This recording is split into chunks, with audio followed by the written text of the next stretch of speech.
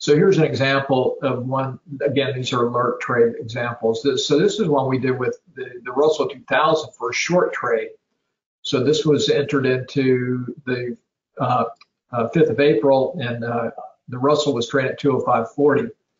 So went out and you can see here, this is alert trade. So what we did on this trade was trade at 205. So went out and bought the 18 April short of the 18, the 8 April. So we bought the 18 April 205 call put and then sold against it the 8 April 200 put. All right.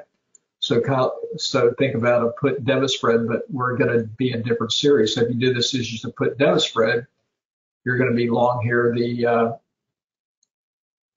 205 put, okay, and then you're short the 200 put, okay. So that would be your vertical put debit spread, which is a great trade. But this one, you're going to be long that 205 put out here in uh, the 18 April series. I could write that, and then you're short that 200 in the 8 April series, so you get that accelerated theta decay there.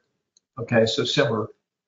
So this this worked out great because the market flushed down real hard. So then we uh, took profits. Then traded down to 196.75, and boom, had a great profit in the trade. But if it had turned sideways, we could have waited out the trade. But this one worked out ideal.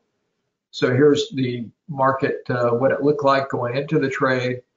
And again, we were trading right here, uh, you know, 205.40. So right about here.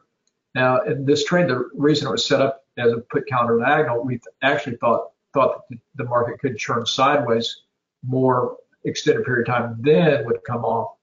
All right, but this one worked out, you know, perfect because it came off uh, a lot quicker. But the, in, in theory, this gives you a chance to let that, if it does turn sideways, you're still positioned in getting paid while you're waiting for that uh, directional kick to kick in. So that's uh, the, the way it works. And then you can see it drop down to, you know, drop down and was trading down here. So it was perfect. So we were long the put. The long put really exploded in value. And then the short put, you know, uh, you know, went up in value, but uh, went up a lot less than the long put uh, went up in value. So it ended up with this trade making a 389. It was up 389 per spread, and we did a couple adjustments on this one too. Uh, 530% return on this. So with this trade setup, you've got potential for huge potential returns because you know if that direction kicks in.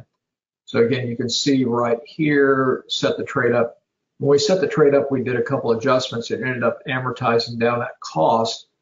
Uh, originally, we started out with the 205.